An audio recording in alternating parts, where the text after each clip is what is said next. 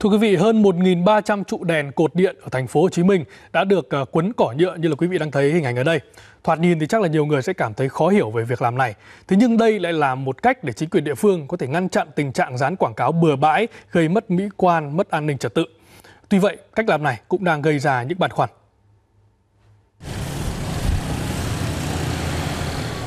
Nút giao Nguyễn Kim, Phạm Hữu Chí, quận 5. Rất nhiều trụ đèn được quấn cỏ nhựa như thế này. Theo người dân ở đây, việc này đã được thực hiện khoảng 3 tháng nay. Và từ khi quấn cỏ nhựa, thì tình trạng dán quảng cáo lên cục điện đã giảm hẳn. Từ hồi mà dán cái cái cọ này là không thấy ờ, họ ờ, dán quảng cáo nhựa đâu. Đó, chắc đây là mới dán thôi.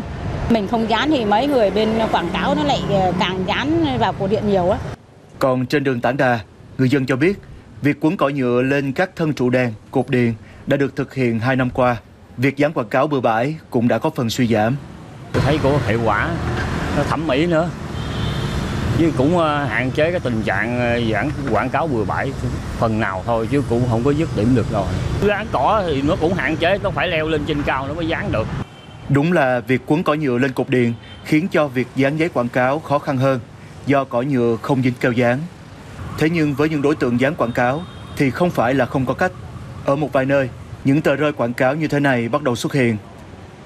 Chính quyền địa phương đã quấn những thảm cỏ nhựa như thế này lên các thân trụ đèn, cột điện nhằm ngăn ngừa tình trạng dán quảng cáo sai quy định.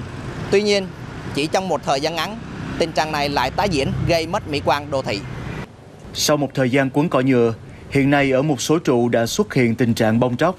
Nhiều người đã bắt đầu lo ngại về việc quấn cỏ nhựa một thời gian. Những tấm cỏ sẽ cũ và nhìn nhếch nhác hơn. Bên cạnh đó thì vật liệu nhựa không thân thiện với môi trường và dễ bắt lửa khi xảy ra chập điện. Trong khi đó, hiệu quả của việc ngăn ngừa dán quảng cáo cũng còn chưa rõ ràng.